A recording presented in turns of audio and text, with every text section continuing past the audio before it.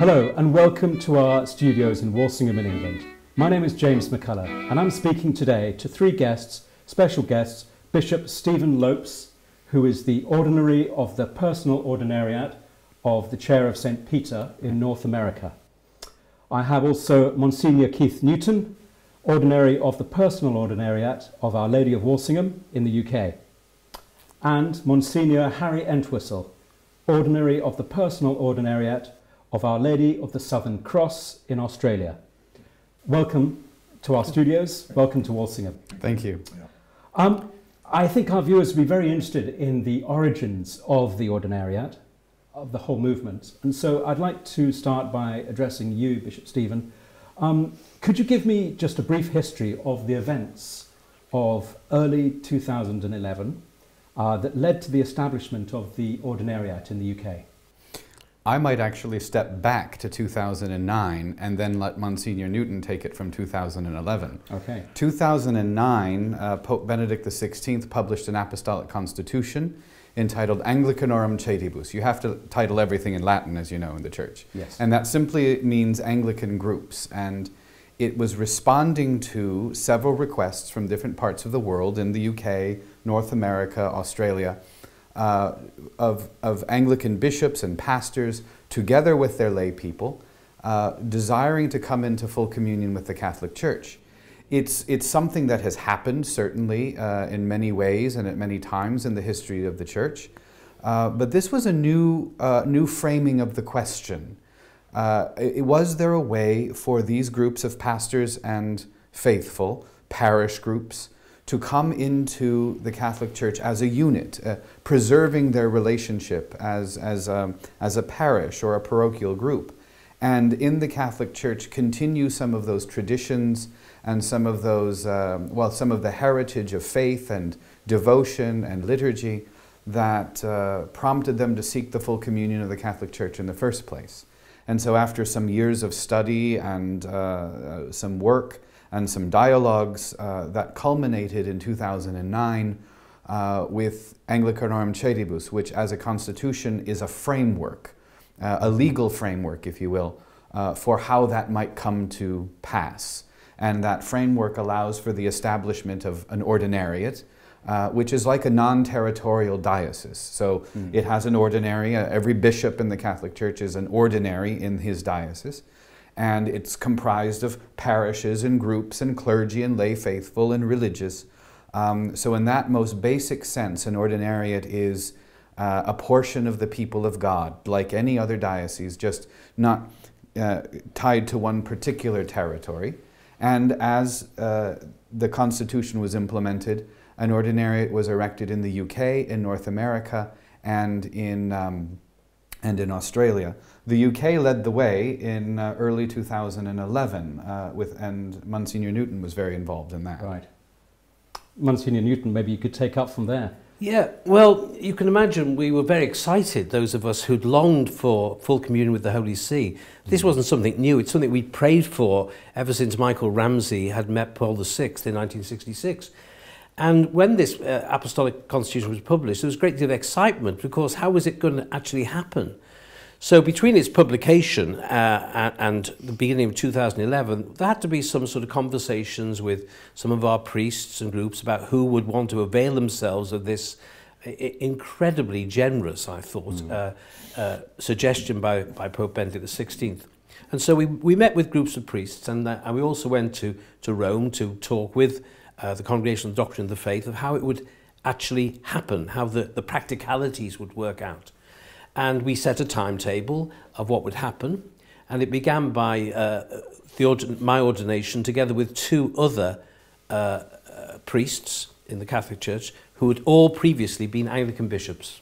And, and which date was that? That was on the 15th of January 2011. Right. I, was, I, I, I had to resign, of course, from my post. I was a bishop in the mm. Church of England, and I resigned towards on uh, uh on on the uh, 31st December 2010, mm-hmm. I was received the following day in Westminster Cathedral, together with these other two bishops and with my wife mm. and another wife uh, of one of the other bishops.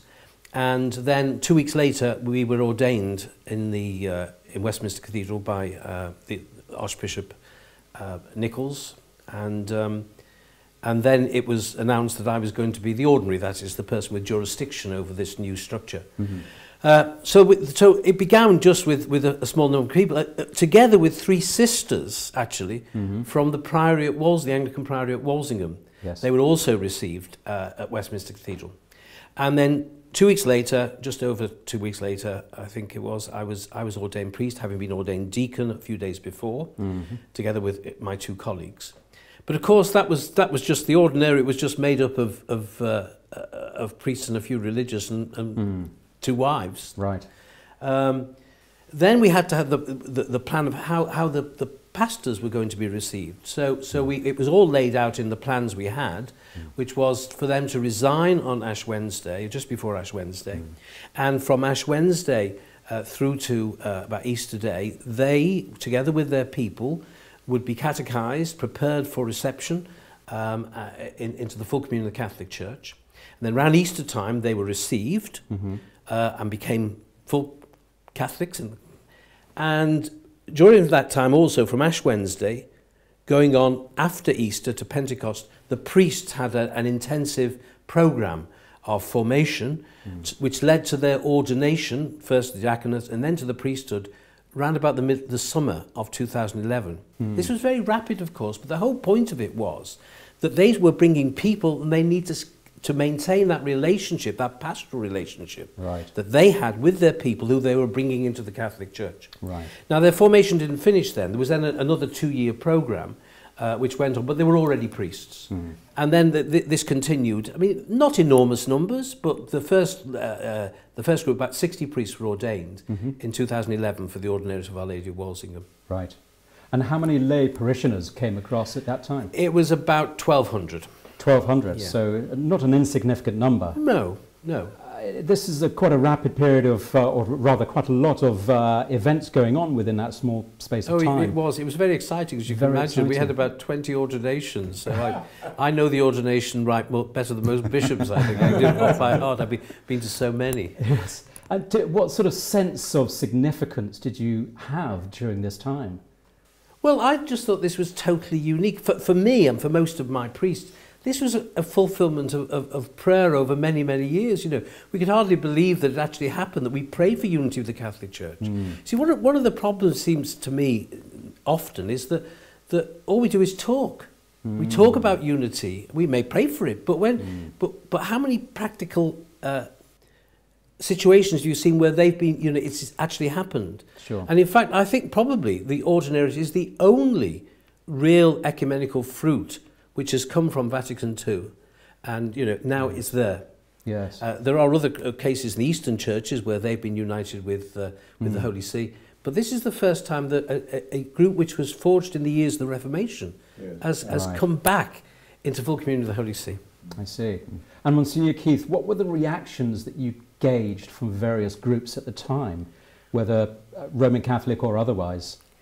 Well, I, I think it was varied in the Roman Catholic Church. I mean, mm. there was a mm. lot of excitement by, from some people uh, saying this was the fulfillment of dreams that they prayed for as well. I mean, the many Catholics who prayed for unity. Yes. Um, there others who found it difficult, you know, and, and said, mm. well, why can't you just become a proper Catholic? Meaning, why can't you just join a diocese? Mm. Um, and I think many Catholics in England and Wales, and about the rest of the world, have a very limited view of, of the Catholic Church. It's much more diverse than many people realize it is. Yes. Um, so so uh, people had to be educated, and still we have to educate people about the, the, the, the ecumenical significance of the ordinariate. As far as the Church of England was concerned, i- again, it varied. Some, some uh, were, were upset that we left, um, felt that we, we perhaps betrayed the Church of England. Others uh, could see that the, the, that those of us who are finding difficulties with the doctrinal diversity in the Church of England, uh, it, its moral laxity and um, uh, questions about the order in terms of women's ordination, both as priests and bishops in the Church of England, that there was no way we could stay with any integrity. Right. So, uh, so many people said, well, perhaps this is the right way forward. So it was very varied. You couldn't say that there was just one lot, mm. one, one, one view. And have some of those views evolved since that time over these years? Yes, I think there's much more acceptance that this is part of the uh, of the Catholic Church. Mm. I hmm. mean, I mean, I've seen some people change their views about it because it's you know once something's been there and is bedded down, it's mm. accepted in more ways. I still think we have a, a, a very important educational role to play in mm. telling people and educating people because. Mm The, only those who get to know an ordinary group, and we're quite scattered. I mean, you know, it's even more mm. scattered in the mm. States and in uh, in Australia. Unless you know a group and people, you're not, not going to know about it. Right. right. Monsignor Harry, um, following on from that last point, what would you say to Roman Catholics who might comment along the lines of, why don't the Ordinariate just become uh, normal Roman Catholics in the Latin Rite? Well, that's actually a very common question that we have all faced and we are continu continually asked. Uh, and in one sense, it, it, it, it is a reasonable question. But in asking that, I don't think they have quite grasped what the ordinariate is really about. The long history of the attempts of reunion between the Church in England and then the Church of England with Rome uh, after the Reformation uh, has a long history beginning at the, in the reign of Queen Elizabeth I, when she was invited to send bishops to the closing sessions of uh, the Council of Trent.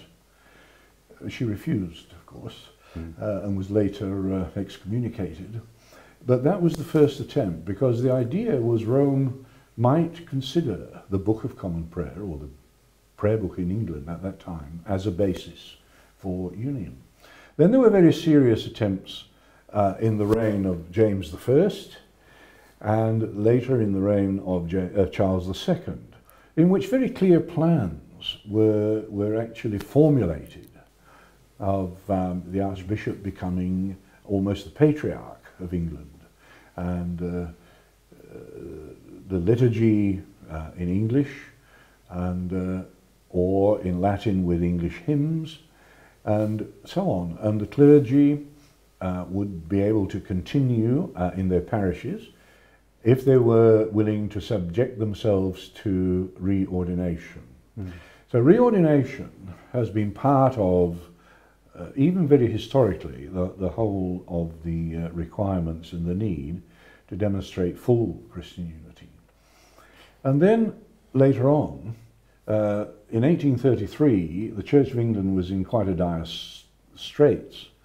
Uh, so much so that Thomas Arnold, the uh, headmaster of the uh, revamped rugby school, said, um, The Church of England as it now stands, no human hand can save. Right. Yet, pretty drastic. Yes. Yet, in 30, 1833, that was the beginning of the, the greatest missionary expansionism the world had ever known. It was the beginning of the evangelical movement, and it was also the birth of the Oxford movement. Uh, John Henry, Blessed John Henry Newman and Keble and Pusey and so on. And so that Oxford movement rekindled the idea of unity. Mm -hmm.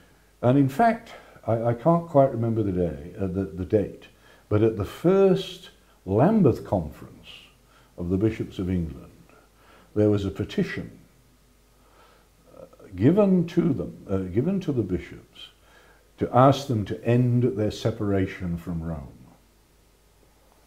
And so it went on, and in the 1920s, uh, there was a Malines conversations in which Lord Halifax was uh, part of. And out of that, those talks came the phrase, unity without absorption. Mm -hmm. And so that became uh, almost the catchphrase. That seemed to be the, the goal. Right. Unity without absorption. as time went on, and Archbishops of Canterbury, and uh, Geoffrey Fisher visited visited the Pope, and then the famous uh, meeting was in 1966 between Archbishop Ramsey and Pope Paul VI, in which rings were exchanged and great fraternity and so on, and talk of sister church. Mm-hmm. Uh, Mhm. and so the impetus was on. Those of us who were in the Church of England at the time, as Monsignor Newton and myself, we all thought, unity next week, you know, it's all on. We We're all terribly excited about it. But for all kinds of reasons, um, it didn't happen. Uh, but there were remnants, and there are, were, were members of the Church of England who still held up the idea of unity without absorption, with distinctiveness. And so that is what came to pass. That's what happened with Anglicanorum Coetibus. Holy Father Benedict XVI recognized that you cannot bring Anglicans into unity, into full communion with Rome, and ignore the heritage and the tradition which had shaped them over the past 400 years. Right. Obviously, that tradition we have to become fully Catholic, and that means accepting the Catechism as the true ex- expression of the true Catholic faith at this time. Uh, and uh, that is what we, we have done. And like the attempts earlier on, we have submitted ourselves in holy and humble obedience to uh, reordination into the Catholic priesthood. But somebody once asked me, you know, uh, just after an ordination of one of my priests, whether, um, whether we were really Catholic priests. So I said, well, if a Catholic bishop is in the habit of ordaining a non-Catholic priest, then we're not. so that was the point.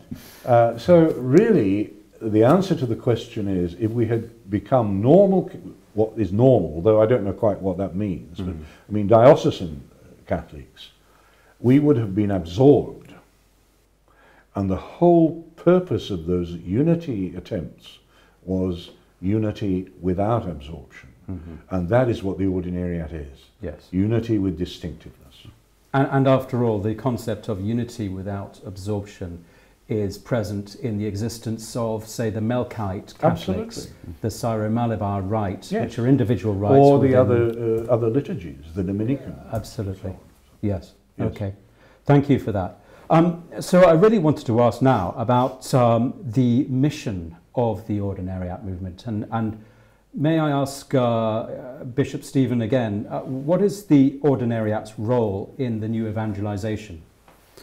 Sure. Uh, I, I think you can, you can look at that mission in two ways, but it arises uh, out of what Monsignor Harry has just said. If, if the Apostolic Constitution Anglicanorum Coetibus understands and accepts into the full communion of the Catholic Church this diverse way of living, expressing, and celebrating the faith, then the mission of the ordinariate is at once external and internal.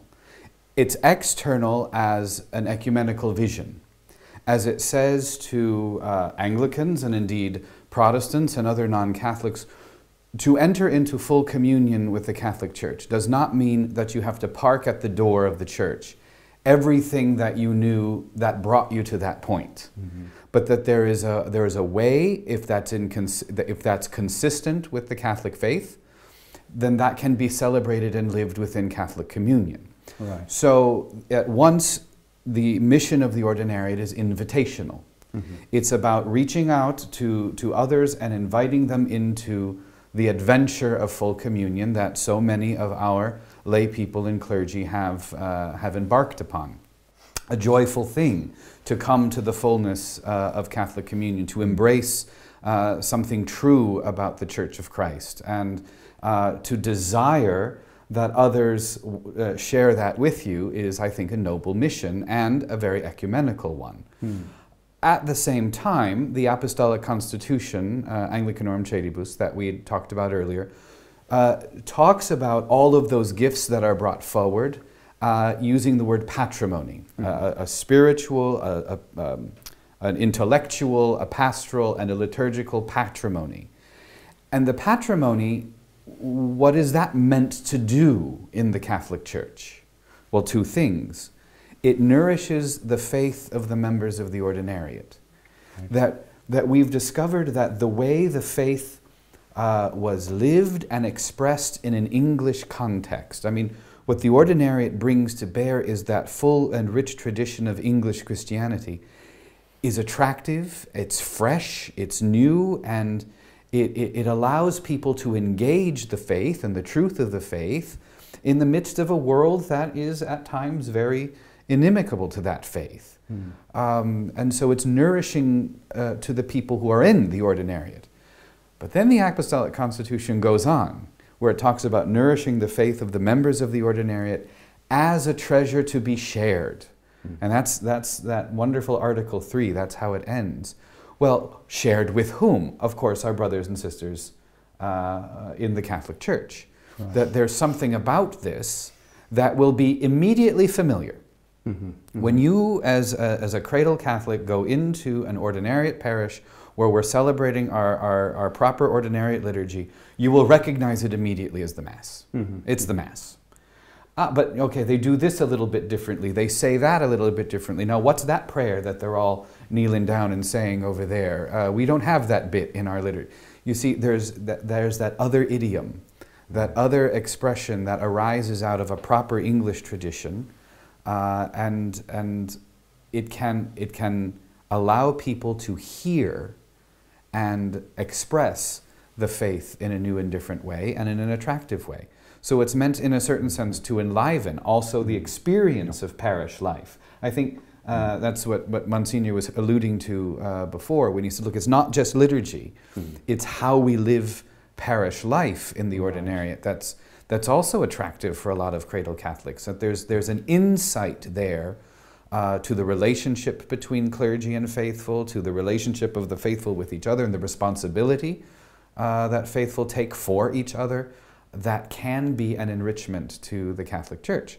So uh, it is a, mission of enrichment and an enrichment of invitation, because ultimately, uh, what the whole ecumenical drive should be um, going back even to our Lord's Prayer, you know, the night before he died, that they all might be one. Why? So that the world might believe. Father, that you sent me. You know, that there is a credibility to Christianity when, uh, when there is unity. And mm-hmm. so, how do we serve the new evangelization? Well, these are men and women who have embraced unity, and therefore they give credibility to the proclamation of the faith that is attractive. I understand. And are there other, any other traditions you uh, mentioned about um, enriching the liturgy?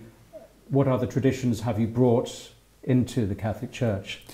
I think you'll find a, uh, a particular richness towards the prayer of the divine office. Mm-hmm. You know, mm-hmm. um, and this is this is interestingly, uh, I think the ordinariates here are, are very much in service to the express desire of the Second Vatican Council uh, that the prayer of the divine office be the prayer of the church, because right. the council was responding to at least the impression, if not the reality, that uh, the prayer of the divine office, morning and evening prayer, the breviary, had become the prayer of specialists in the church mm. priests, religious women, monks, you know, but it was totally absent from the reality of most lay Catholics. Right.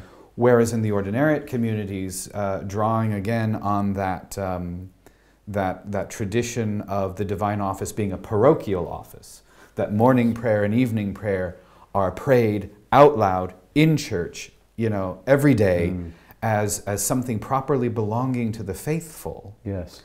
Well, you know, that's a, that's a, uh, that's a contribution. And you add to that that so much of that uh, absolutely exquisite uh, English sacred music grew up not even well, not so much in the context of the mass, but in the divine office. Yes. Office hymns and anthems and and what.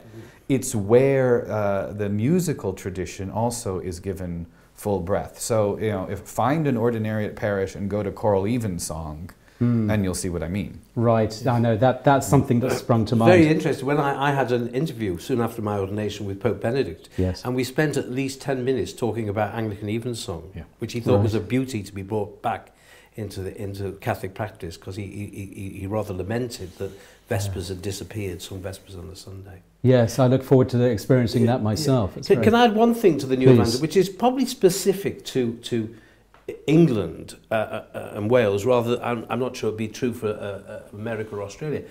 But within the Anglican Church, Anglican uh, parish priests have responsibility for everybody who lives in that parish. Mm-hmm. So evangelization is, is all those people need to learn about our Lord Jesus Christ. Mm-hmm. One of the things that's slightly frustrating when I listen to, in, it, certainly here, about new evangelization, it really is concentrating often on trying to get lapsed Catholics back to back to mass. Hmm. Now that's important. I'm, I'm not saying, it's, of course, it's it's really important. But we have a wider mission. You know, the, hmm. the, the Great Commission wasn't just to lapsed Catholics; it's everybody out there. And so I think the ordinary has a way of reminding the church that we have this greater commission, which is wider than just those who have lapsed from the faith. Right. How can we support this mission?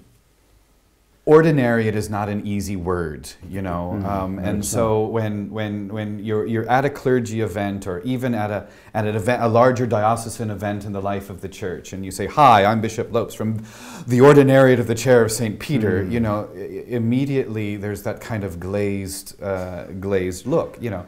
Um, fine, but you know, this is this is a a, a rather exciting contribution, I think uh, to the vitality of the Catholic Church. So, you know, just as you know, all Catholics would routinely want to continue their own faith education uh, to deepen their relationship with the Lord and His Church, um, you know.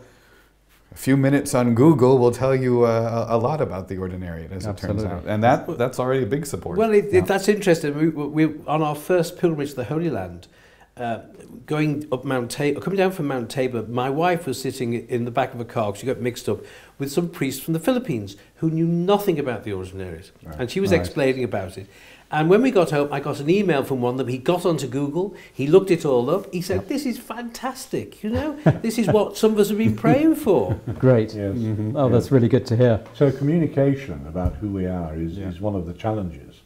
And uh, this interview today, I mean, I hope will bring some knowledge to many people about who we Absolutely. I mean, I- it's, it's very enlightening for myself. Um, so, uh, and, and Bishop Stephen, how has your own background helped in maybe unifying the ordinariates across the world? Uh, I am not a former Anglican. I think that's what you mean. I'm, Yes. a, I'm, a, I'm a cradle Catholic. Um, and so I've come into this. Uh, I was working in Rome at the Congregation for the Doctrine of the Faith uh, at the time that these conversations were beginning in 2007 up through the Apostolic Constitution uh, until my own appointment uh, as bishop in the Ordinary of the Chair of St. Peter uh, announced in November of 2015 the, the, the Anglican patrimony, uh, well, the patrimony of English Christianity really, is, is, is not something you so much learn as you live. Right. And I have been enormously privileged uh, uh, to be able to live this expression of Catholic life uh, with my priests and people, uh, both at the Cathedral Parish in Houston, Texas, where I live, but in all of the parishes I, I go to. Um, i i- it's something we do together. In other words, I wouldn't want someone to think that this is just some sort of intellectual exercise, that, that, that this, this patrimony we're talking about is just about a way of celebrating Mass and just about a way of, of, of using you know, strange words like vouchsafe uh, or, or, something like this.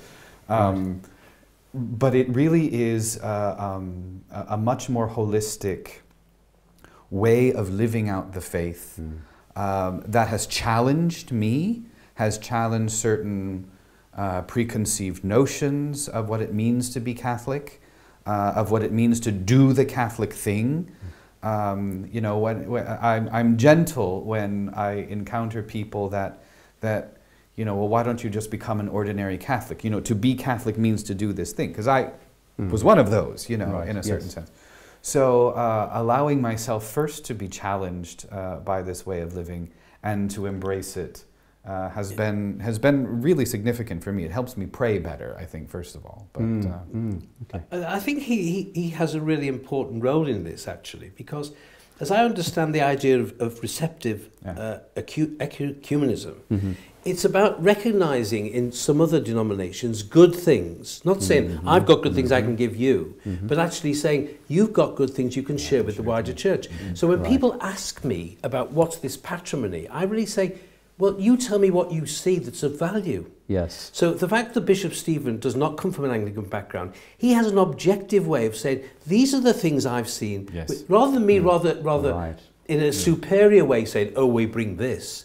Somebody who comes from the from, from an ordinary, as it were, d- and Catholic mm, background, and say, "I can see these gifts in the church Yeah. which Right. you're bringing," mm-hmm, and mm-hmm. that's what it should be. It's not us saying this is what we've brought. It's for those who experience to say, "Yeah."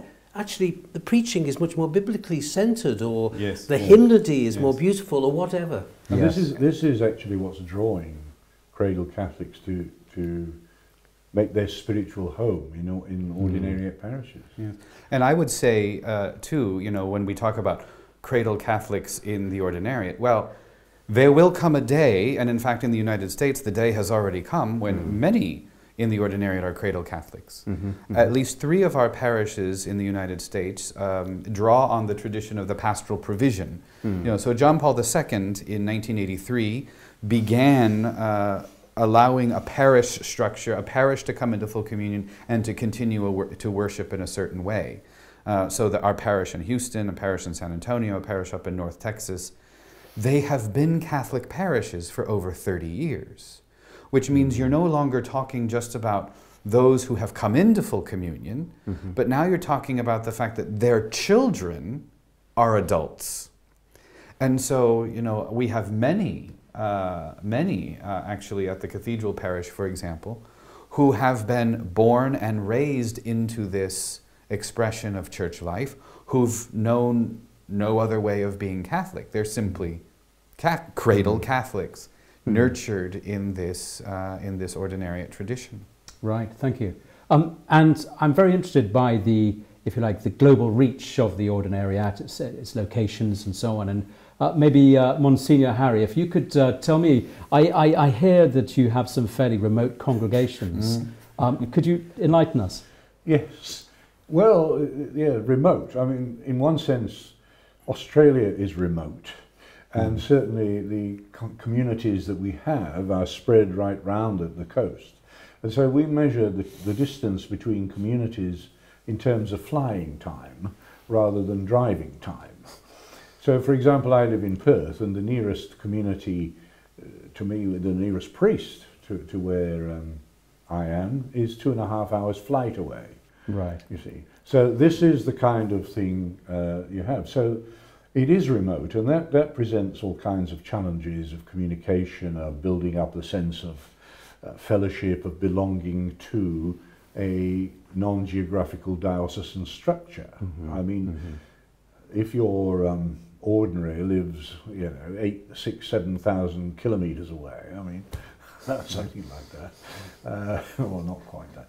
Uh, but we also have a parish on a very small island, um, one of the Torres Strait Islands, which are the group of islands uh, that exist between the tip of Cape York, the, the, the ear of the rabbit, you know, the, Yes. that side of the east, and Papua New Guinea.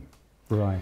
But for uh, also for um, historical reasons that are best known to the Japanese, uh, two communities uh, from the Anglican Church in Japan who became part of the tradition of a traditional Anglican communion uh, have become ordinariate uh, communities connected to Australia. So in fact, I, I have two communities in Japan. That's remarkable. So And that's a, there are there maybe is a group- 3,000 miles Yeah. or almost or more. And it gets Yes. better. Okay. Yeah. There is a group of um, Filipinos, uh, again former Anglicans or uh, in, in independent Anglican communion, who really are meeting, gathering together, saying evensong together, because there's no priest there, saying evensong together, and really are working and looking for uh, to become part of an ordinariate in, in Australia, so Right. the Philippines. And then uh, laity, individual laity in, in New Zealand are, you know, asking questions. Yes. So yes, yes. where this ends, I don't know. It must present some practical problems Ah, about visiting Well, your let's say congregation. let's say that Qantas and I are very good friends. All, all, all three of us can be, be chaplains to the air and rail around. Uh, Yes. Just tell me, for example, how do you get to your Torres Strait Islanders? Ah, well, if I started in Perth, which is on the western coast of Australia, on the Indian Ocean, Yes.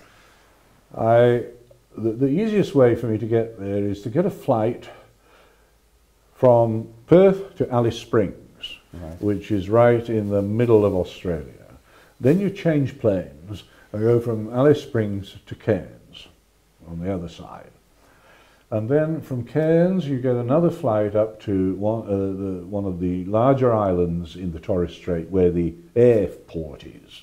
It's not the largest island, but it just happens to be where the airport is.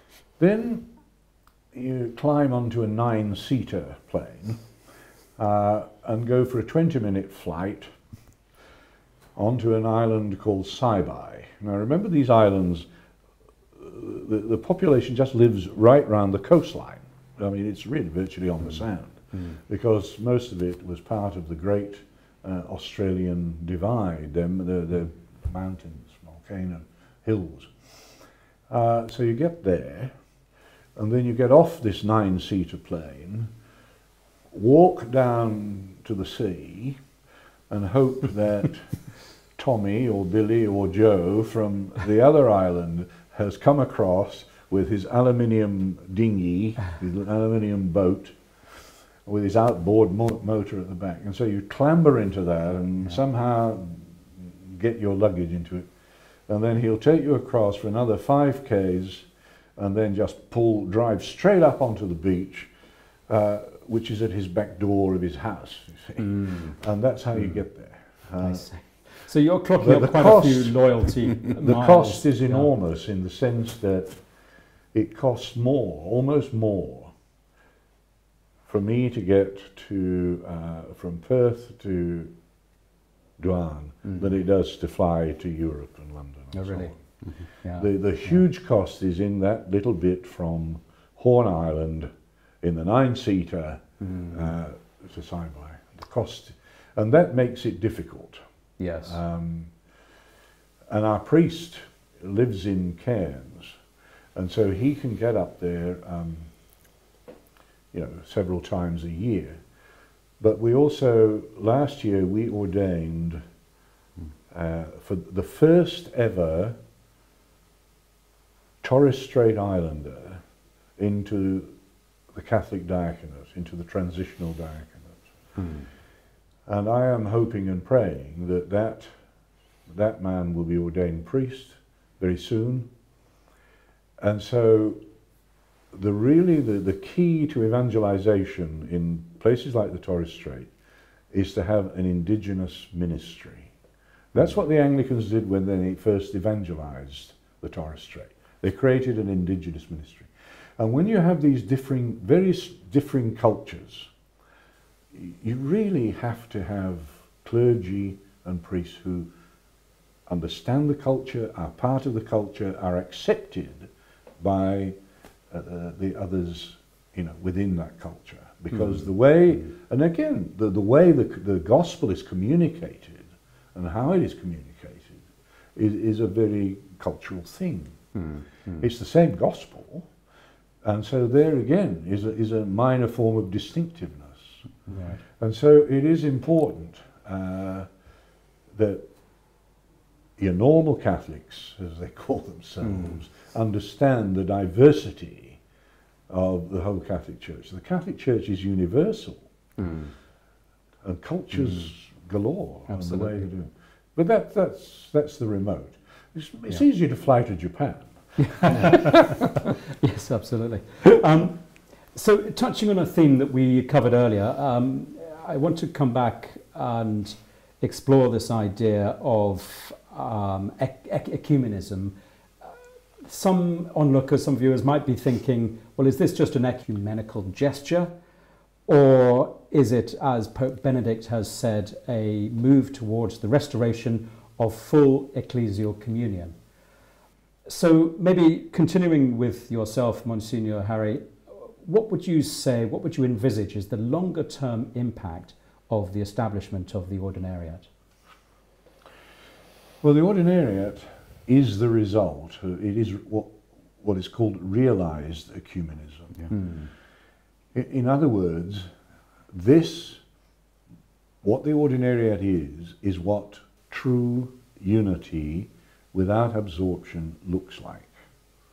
If you want to grasp, you know, people can pray for unity, but what do you mean? Do you mean intercommunion, yet business as usual, believing what you like, you know, as though there is no, and nothing changes? Or are you serious about being in full Catholic unity with the Holy Father and, and, the, and the Church Universal, with the See of Peter? What our Lord prayed for was his disciples might be one, maybe one. Not because this is all nice and a very lovely idea, but in order that the world may believe. Hmm. And as uh, Bishop Lopes said earlier, that is the point. Mm-hmm. A divided church is weakened in its mission and its ministry. A united church, uh, holding the same faith, expressing it in different ways, uh, culturally and, and in different formats, um, is, is strong. And so, what I would say is, if you, uh, anyone who is serious about what would true unity look like, this is the model. Yeah. We are on the front row. Look at us, and what you see is true Christian unity. Right. Monsignor Keith, do you have anything to add? Well, only I, I, I think that the the apostolic constitution was, I think, a fruit of the Anglican Roman Catholic International Commission. If that had not happened, we wouldn't be at that point where it was possible for that for the Catholic Church to see there are there were elements within Anglicanism that that were, were, were, were, which were similar enough similarity that there was a point where we could become Catholics and bring some of our traditions in. So it was, it was, a, it was a fruit of all that ecumenical works, the only fruit actually of, the, of, of those archaic conversations. It's both that and it's what Pope Benedict said is prophetic. Yes. So it looks to the future of what may be possible for other people to enter uh, the Catholic Church, bringing something of their traditions as long as they, they, they, they are commensurate with the, the doctrines and teachings of the Catholic Church. Yes. But to bring those other traditions, which are either secondary, uh, not doctrinal, but the, the, perhaps spiritual, pastoral, liturgical, whatever. So it looks to that possibility. Now, I, I think ecumenists should be really excited by this. Even if they, have, they can be critical about it, they should say, this is really interesting for the ecumenical movement. Unfortunately, I don't think they always see that, which, which surprises me. And it often seems to me uh, that ecumenism has become, the ecumenism of being nice to each other. Well, that's important. It's better than not being nice to each other, but again, it's not what our Lord prayed for. Or the ecumenism of dialogue. But dialogue has to have a goal, and the goal has to be corporate union, that we are members of one church, you know, where we have this diversity, but I can go to any Catholic church in the world and can celebrate as a priest. Yes. Right. And, and I think this, uh, what you've just heard from, from my two brothers here, uh, is the why of a structure. Why did Pope Benedict XVI uh, create a structure? Why did Pope Francis uh, enrich or strengthen that structure with the promulgation of the Missal, uh, the appointment of a bishop, and things like this? Because you know, you, we've heard the phrase, you know, used several times, unity without absorption. Uh, another way of saying what is the ecumenical vision of Anglicanorum Coetibus and the Ordinariates is that the unity of Catholic faith allows for a diversity of the expression of that faith. What, what creating this structure, what is meant to be a permanent structure in the church, um, so this is not some sort of little ghetto that you know you this is how you get some people to join the Catholic Church and then once they've done so you know, yeah. But it's meant, it's meant to give space, uh, to allow these proper traditions that have been nourishing the church, both within full communion and outside of it, that have been nourishing the faith for hundreds of years in a particular cultural, social, and religious context that we would call English Christianity, to find new voice and to find uh, uh, new context in full communion. And that will be a lasting impact. You know, uh, we can we can see it in the way that we're educating our children. We can see it in the way that we are uh, retaining and augmenting uh, certain spiritual liturgical uh, traditions and practices, that this is going to be something that continues to resound to the glory of God and to the vitality of the church. Mm-hmm. Father, uh, Monsignor Keith, what does Walsingham mean for you as an ordinariate? Well, you, you have to remember that, that uh, within England, uh, Wales and maybe Scotland, um, many of the people who came to the ordinaries were from an Anglo-Catholic background. They, mm. they, they practiced a, a, a faith which had many elements of Catholicism in it. And this was the spiritual home. All Anglo-Catholics love Walsingham. They love Our Lady, the great tradition uh, that's been here, the, the history of Hope, the vicar, Hope Patton, mm. uh, re re-establishing the shrine in the Anglican parish church and then building the Anglican shrine, the finding the the, the buying of the or, uh, of the Slipper Chapel, which mm. became the the uh, the National Catholic Shrine of Our Lady here in Walsingham. These were very very important things for us, and I did not have no I had no idea the day I was ordained. There was a letter written by um, uh, Cardinal Aveda, who was then the prefect of the Congregation of the Doctrine of the Faith, uh, announcing the erection of the first ordinariate uh, and that I would be the first ordinary. And he announced the name Our Lady Walsingham. And there was a sort of emotional uh, you know, sigh around the cathedral that the, the, the Holy See had given us that name. Mm. And also across, across the world, I mean, the, the, it's amazing how many uh, churches in America are actually called after Our Lady of Walsingham. And in fact, uh, mm. Bishop mm. Steven can tell mm. you that My his cathedral, cathedral is Our Lady of Walsingham. In fact, right. we have a, uh, a replica of that very arch out there. Uh, so I heard, yes. In the, in the center of our cathedral campus. And that, I think, uh, what Monsignor Keith has just said, I would just echo. Walsingham and the, the uh, Our Lady's Holy House and all of that means in terms of the domestic church and uh, Mary really as with the people and praying for the people and amongst the people, that really is the spiritual center of, uh, of, of our ordinariate, which is why at the cathedral parish we have the shrine of Walsingham in the physical center of our campus. That's wonderful. I mean, we have one community that's called Our Lady of Walsingham. Mm. But of course, our ordinariate is Our Lady of the Southern Cross, which yes. is an alternative name for Our Lady Help of Christians. And so it's the Marian connection. It's that, um, and it, it's there throughout all three of, of the ordinaries. Mm, and, mm. Uh, Wonderful. So for us, Walsingham is almost the mother house, as yeah. it were, in a sense. And uh, but Our Lady of the Southern Cross, Our Lady of Help of Christians, is that kind of sustaining, powerful image of Our Lady you know, the strong woman who, you know, presents Christ to the world. Mm, mm, wonderful. Mm. Uh, Bishop Steven, Monsignors, thank you for coming to Walsingham. Thank you for speaking for us. Um, and also, we pray for God's blessing in your work. Thank you. Thank you, James. Thank you very much. Thank you. Thank you. Thank you.